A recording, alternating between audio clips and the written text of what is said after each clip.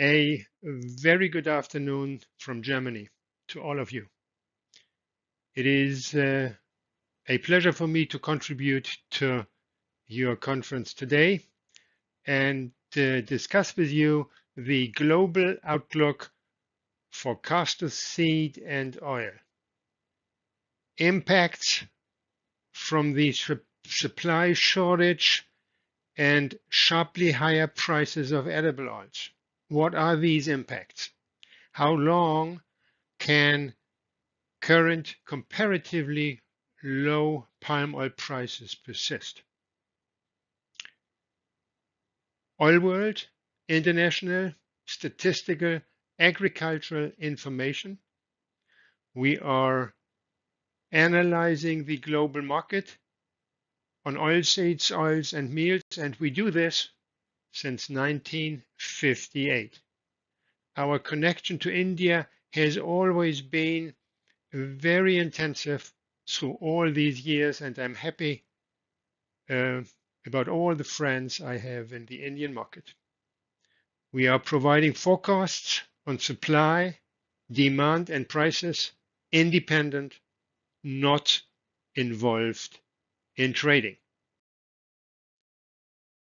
At the moment, castor oil prices are comparatively low at US dollar 1,310 for Kandla and at about 1,580 in Rotterdam. The price average for October, February 2020-21 was approximately $100 below the most recent 10-year average. World supplies are sufficiently large.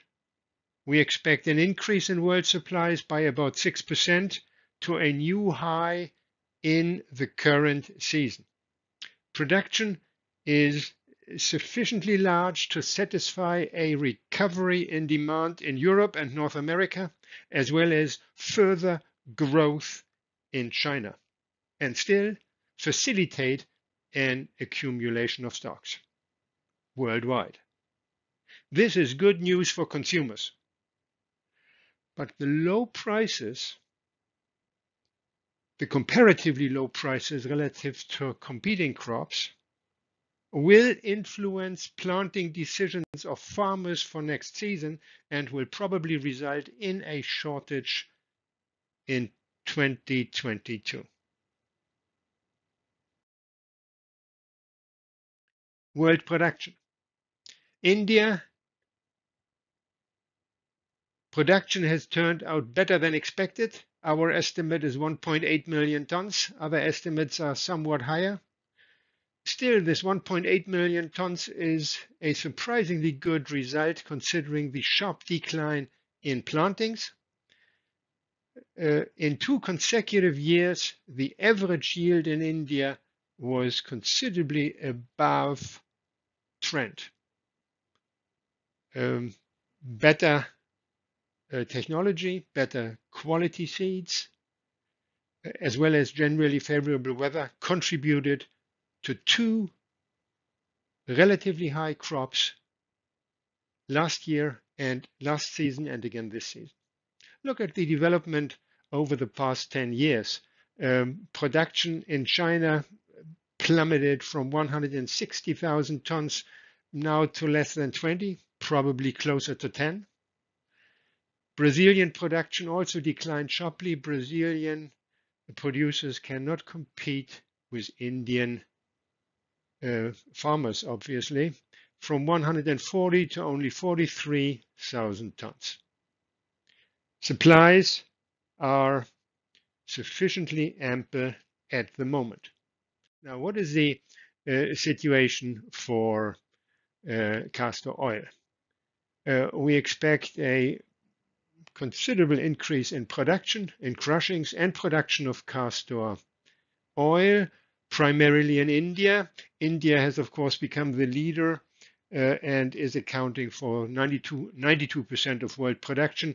while uh, the Brazilian share is flat at about uh, 2%, and production and crushings in China are declining. World imports of castor oil accelerated since the July September 2020 quarter uh, under the lead of China. They continued to stay well above a year ago in October, December. And for the full season, we see world, we expect world exports to recover and increase to 690,000 tons. China, 330, probably 320, 330,000 tons. This is our estimate. And higher imports in the European Union and the US and some other countries. In China, domestic consumption of castor oil has recovered since uh, mid 2020, and this trend is likely to continue. Also for the European Union and North America, we see consumption recovering in the current season.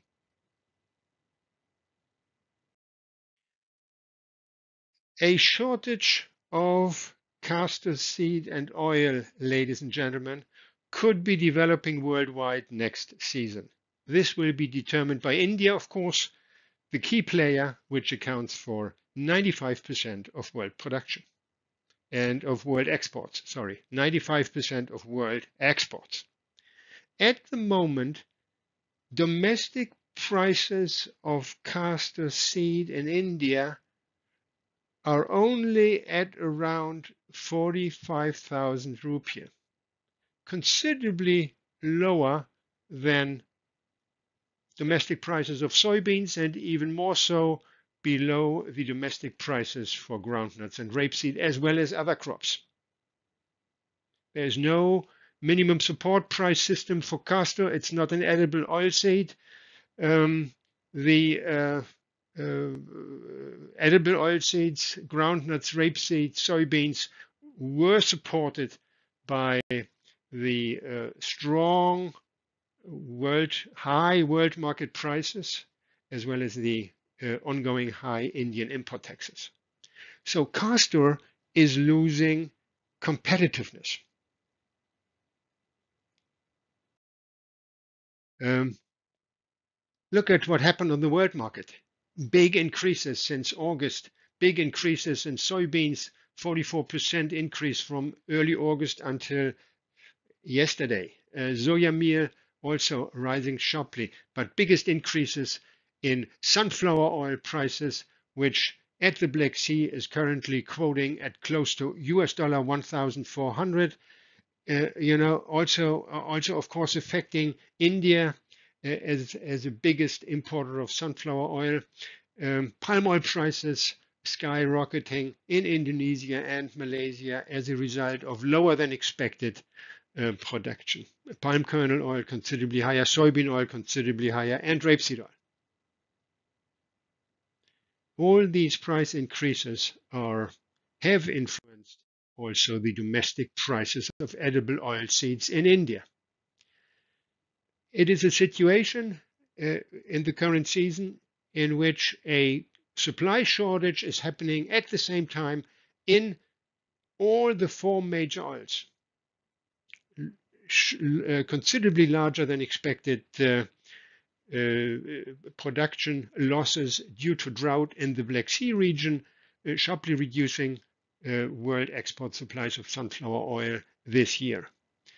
palm oil production and export supplies lower than expected in Indonesia and Malaysia, stocks at minimum levels primarily in Malaysia. Rapeseed oil tight in Europe, in Canada, on the world market. Chinese buying. China just purchased large quantity of European rapeseed oil, additionally pulling up prices. Canadian crushings and exports have been unsustainably high recently.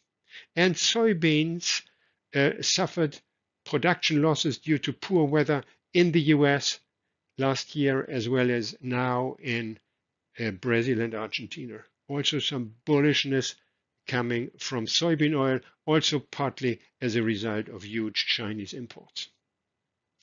And these bullish factors from the world market in edible oils are um, uh, affecting domestic prices in India for the edible oilseeds, and they have contributed to deteriorated competitiveness of castor seed growing in India.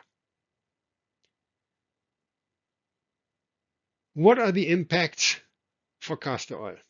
There is a relatively high risk of a global production deficit in castor developing in 2022 on account of reduced Indian production. This could be this will be partly moderated by relatively high carryover stocks from the current season, uh, but still we are heading into a tighter situation, most likely into a tighter situation next year. Consumers, castor consumers in the importing countries will probably take advantage of the current relatively low prices and raise purchases from India to build stocks in coming months ahead of the possible, uh, possibly higher prices. Uh, we expect some downward uh, price movement in edible oils on the world market in April, June, and in July, Sept, but this downward potential will be limited as long as vegetable oil stocks have not been replenished to more comfortable levels. But some price pressure is likely to occur uh, from the April-June quarter on account of seasonally rising palm oil production, a seasonally rising South American soya oil production and soya oil exports, and in particular from the prospects of sizably increased oilseed production in the Northern Hemisphere next season uh, starting from August or September onward. And, you know, farmers at the moment in North America, in several other countries, they are uh, uh, uh preparing to considerably increase spring plantings to take advantage of the current high prices. With this, ladies and gentlemen, I conclude my presentation, wishing you a good, uh, productive conference and if I can be of assistance, please let me know. Thank you very much.